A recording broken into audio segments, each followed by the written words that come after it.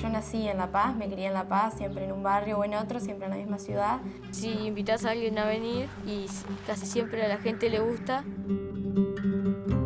Fui a la escuela acá en La Paz y todavía mantengo un montón de, de amistades del tiempo de la escuela. Identifico como canario de la República de La Paz.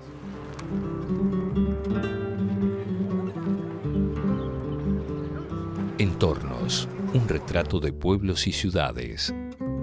Lunes 21 a 30 horas.